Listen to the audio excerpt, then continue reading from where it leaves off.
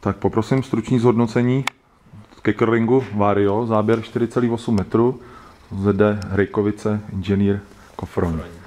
Tak eh, ten stroj teda používáte na co?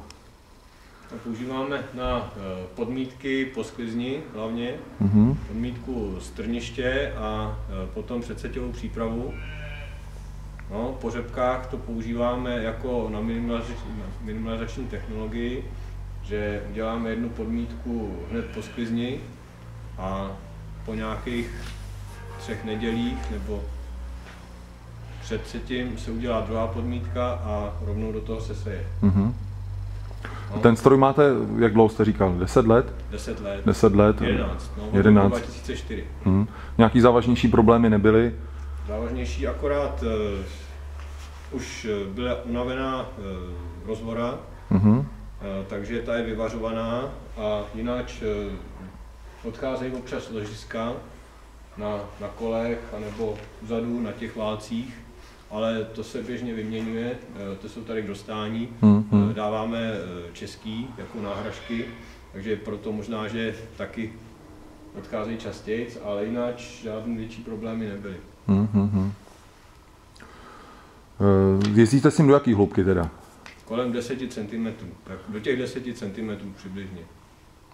Eh, Nastavení stroje jako takový je jednoduchý, Velice jednoduchý. obsluha s tím nemá problém, Ne, To je, vlastně- to je výborný. hydraulicky vlastně se eh, nastavuje ta hloubka, že jo, během, během jízdy. Eh, Traktor to tahá jaký, kolik koní? My máme 280 eh, na to připravenou, ale jinak používáme i 220 a do těch podmítek to stačí. Do největší hloubky s tím jdete kolik, když... A mm, připravujeme s tím i podbrambory a to se dělá asi na 15 cm. Mhm. Bez problému tam stroj zaleze. Tam, tam se jezdí s tím silným traktorem 280 kejzem a e, tam problém není. Mhm, mhm. Eh, O potřebitelnost dílů ty radlice, kolik vám to vydrží zhruba hektarů, budete vědět? No, kolem 200 hektarů asi s tím děláme. Jo, jo, jo. jo. Eh, Spotřeba traktoru takhle při té práci No, máte asi změřenou těch 15, 15 litrů. kolem těch na 15 litrů na hektar. Mhm, mhm.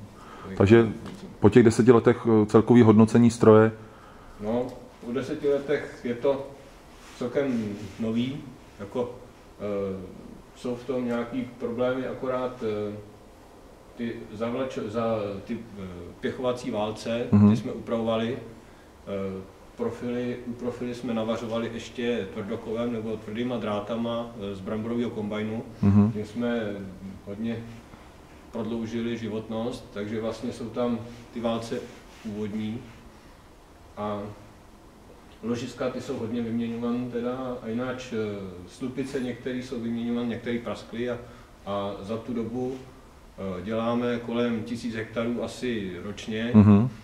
A za tu dobu nám popraskali asi tři péra, no, Jo, jo, jo. Eh, Ve velku ten stroj funguje, ve Božku bez problémů, perfektně, perfektně to rovná terén. Připravovali jsme s tím i jako podtrávy, Mhm, takže mhm. nádherně srovnaný pole a takže se dá říct, že to používáte jakoby, jakoby předseťový kompaktor. jako předseťový kompaktor. Mhm, mhm. I e, používáme, e, kde jsou někdy problémy s hroudama, e, my oráme, my Mhm. používáme radličkový podmítač i oráme a, a kde se udělají hroudy, tak se to tyhle tím kekralingem dá celkem dobře rozebrat. Mhm. že i hroudy tvrdí se rozbijou Mhm, mhm. a, a i ty válce, ty jsou, ty jsou výborný, že ty hroudy rozmačkají a, a připraví to pole pěkně.